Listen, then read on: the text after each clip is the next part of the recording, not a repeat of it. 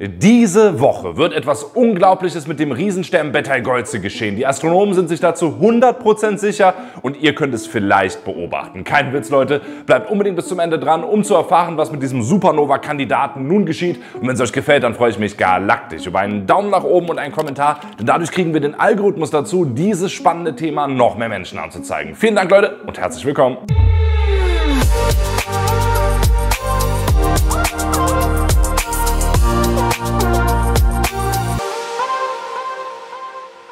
Diese Woche wird es ernst, Leute. Das ist vermutlich eine einzigartige Chance innerhalb unserer Lebenszeit. Aber bevor wir uns dem aktuellen Ereignis widmen, sollten wir erstmal klären, was am Betelgeuse eigentlich so besonders und spektakulär ist. Betelgeuse ist ein Superlativ in vielerlei Hinsicht. Seine Größe verschlägt selbst den größten Plappermäulchen unter euch die Sprache. Es handelt sich nämlich um einen sogenannten roten Überriesen, was bedeutet, dass er am Ende seines Lebenszyklus steht und bereits einen Großteil seines nuklearen Brennstoffs verbraucht hat. Sein Durchmesser ist etwa der tausendfache des Durchmessers unserer Sonne. Das bedeutet, dass wenn man Betelgeuse im Zentrum unseres Sonnensystems platzieren würde, was ich hier für euch mal dargestellt habe, dann würde sein Rand bis zum Asteroidengürtel reichen und die Erde sowie die inneren Planeten wären verschlungen. Alles würde in stellaren Flammen aufgehen und wir wären tot. Zum Glück passiert das nicht, aber es ist faszinierend darüber nachzudenken, insbesondere weil die Größe von Betelgeuse sich auch in seiner Helligkeit widerspiegelt. Mit einer scheinbaren Helligkeit von etwa 0,5 Magnituden ist er einer der hellsten Sterne am Himmel. Das macht ihn leicht sichtbar, selbst in städtischen Gebieten mit viel Lichtverschmutzung, so wie in Minge Heimatstadt Kölle. Damit trägt Betelgeuse wesentlich zur unverkennbaren Silhouette von Orion bei, einem der bekanntesten Sternbilder am Himmel. Schreibt mir mal in die Kommentare, ob ihr den Orion schon mal am echten Nachthimmel entdeckt habt und ob man bei euch in der Gegend gut die Sterne sehen kann oder ob ihr auch so geplagt seid von Lichtverschmutzung. Und Betelgeuse ist nicht nur wegen seiner Größe so besonders, sondern auch, weil er so nah an uns dran ist. Er ist nur etwa 650 bis 750 Lichtjahre von der Erde entfernt. Ganz genau weiß man es nicht. Man kann also sagen, dass er in unserer kosmischen Nachbarschaft um die Ecke wohnt. So als hättet ihr einen riesigen, dicken Nachbarn, dessen Wampe so hell leuchtet, dass ihr sie nachts immer im Nachbarhaus sehen könnt oder so ähnlich. Naja, diese Nähe zu uns hat es den Astronomen jedenfalls ermöglicht, ihn intensiv zu studieren und viele faszinierende Erkenntnisse über Sterne im Allgemeinen zu gewinnen. Und diese Nähe wird uns auch diese Woche eine spektakuläre Möglichkeit bieten, aber dazu gleich mehr, nachdem ich euch ganz kurz zeige, wie ihr so viel Energie wie ein roter Riese bekommen könnt mit meinem Lieblingsgetränk Holy Energy. Früher habe ich mir vor Videodrehs immer ungesunde Energy Drinks mit Zucker reingezogen, heute trinke ich Holy. Das macht mich angenehm wach und enthält keinen Zucker, kein Taurin und keine künstlichen Zusatzstoffe. Und bald ist ja auch Weihnachten und mich hat Holy bisher sehr gut durch die Adventszeit gebracht. Ich war gerade in Norwegen und nach einer langen Wanderung durch den arktischen Schnee ist eine Portion Baked Apple Bore aus meinem Shaker genau das Richtige. Dieser Flavor ist eine limitierte Weihnachtsedition und schmeckt richtig gut winterlich nach Bratapfel. Müsst ihr unbedingt mal ausprobieren. Genauso wie die limitierte Eistee-Sorte Winter Punch. Und ihr werdet es kaum glauben, Leute, aber heute ist für euch quasi schon Weihnachten, denn mit meinem speziellen Link weareholy.com slash astrotim slash xmas bekommt ihr auf das Xmas Starter Set galaktische 40% Rabatt. In dem Set bekommt ihr eine 14er Probierbox für Ice-Tea, eine 14er Probierbox für die Energy Flavor und einen stylischen Holy Shaker. Und mit meinem Code ASTRO5 spart ihr zusätzlich nochmal 5 Euro. Das ist nicht nur eine super Möglichkeit für euch, endlich auf gesündere Energy Drinks umzusteigen, sondern es ist auch das perfekte Weihnachtsgeschenk, falls ihr Leute kennt, die Energy und Softdrinks mögen. Und ich kenne viele von solchen Leuten. Dann habt ihr jetzt das perfekte Geschenk mit dem Xmas Starter Set. Set. Holt euch mit meinem Link und nun voller Energie zurück zum Riesenstern Betelgeuse. Betelgeuse ist ein roter Überriese, wie wir ja schon wissen, also ein Sterntyp, der sich in einem späten Stadium seines Zyklus befindet. In diesem Stadium hat der Stern den Großteil seines Wasserstoffbrennstoffs in seinem Kern verbraucht und beginnt nun schwerere Elemente zu produzieren, Helium, Kohlenstoff und so weiter. Diese Elemente werden im Inneren des Sterns fusioniert und erzeugen enorme Energiemengen, die den Stern aufblähen und seine äußeren Schichten irgendwann in den Weltraum schleudern. Im Prinzip wie bei älteren Menschen. Nach einem langen Leben haben sie all ihre Energievorräte verbraucht und explodieren. Okay, Rentner explodieren überhaupt nicht. Vergesst den Vergleich. Dieser Prozess am Ende eines Sternlebens ist dynamisch und unregelmäßig, was bedeutet, dass Sterne wie Betelgeuse natürliche Helligkeitsschwankungen aufweisen können. Aber die Helligkeitsschwankungen, die Wissenschaftler in den letzten Jahren bei Betelgeuse gemessen und gesehen haben, die waren alles andere als im normalen Rahmen. 2019 erlebte Betelgeuse eine wirklich drastische Verdunkelung.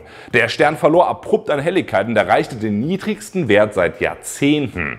Das war so auffällig, dass Astronomen sich fragten, ob dies ein Vorzeichen für eine bevorstehende Supernova-Explosion sein könnte. Aber Betelgeuzes Helligkeit normalisierte sich dann wieder und dieses Jahr ist sie dann sogar massiv angestiegen und erreichte teilweise 140 Prozent ihrer normalen Stärke.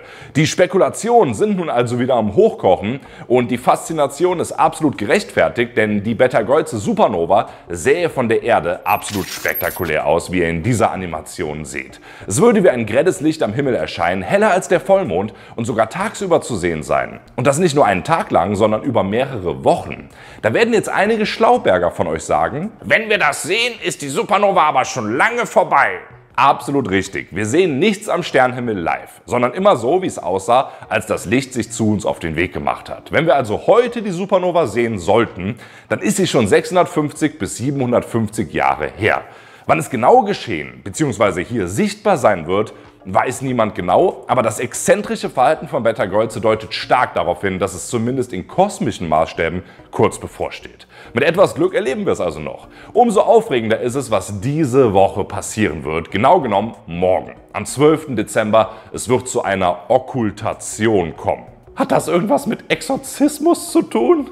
Nein, das hat nichts mit okkulten Praktiken zu tun. Eine Okkultation tritt auf, wenn ein Objekt einen anderen Himmelskörper von unserem Sichtfeld aus vorübergehend verdeckt.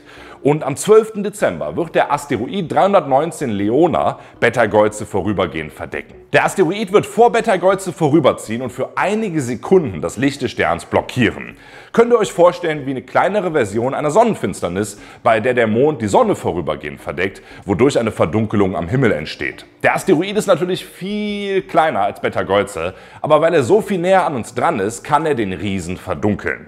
Und jetzt wird's richtig spektakulär. Was dieses Ereignis so besonders macht, ist die Tatsache, dass der Asteroid 319 Leona die perfekte Größe besitzt, um eine sogenannte Ring of Fire-Okkultation zu erzeugen. Das bedeutet, dass der Asteroid das hellste Licht von Betelgeuse blockieren wird, aber einige seiner schwächeren Merkmale werden immer noch durchscheinen. Das bietet Astronomen die Gelegenheit, bestimmte Details und Eigenschaften von Betelgeuse perfekt zu studieren, die normalerweise schwer zu beobachten sind. Die ganze Bedeckung wird nur 5 bis 10 Sekunden dauern.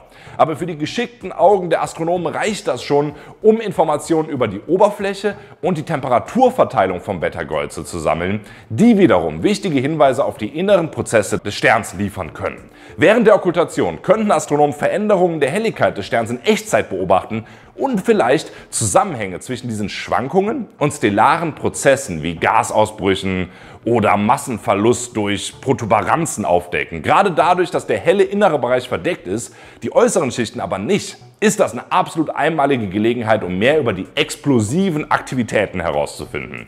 Betelgeuse ist zum Beispiel für seine ausgeprägten konvektiven Zellen bekannt, die warmes Material von der Innenseite des Sterns an die Oberfläche transportieren. Das nun im Detail zu studieren, könnte uns eine präzise Auskunft darüber geben, wie lange Betelgeuse noch hat, bis er als Supernova endet. Aber ich höre jetzt schon einige von euch aufgeregt fragen, ich will das sehen. Kann ich das sehen? Das wird leider etwas Mühe erfordern. Um das Ereignis zu sehen, muss man sich als Beobachter innerhalb eines schmalen Pfads von etwa 60 Kilometern Breite befinden, der sich von Südeuropa über die Türkei, Griechenland, Süditalien, Südspanien und Portugal erstreckt.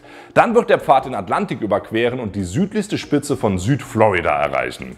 Die genaue Sichtbarkeit kann auf der Website der International Occultation Timing Association überprüft werden. Das habe ich euch natürlich unten verlinkt.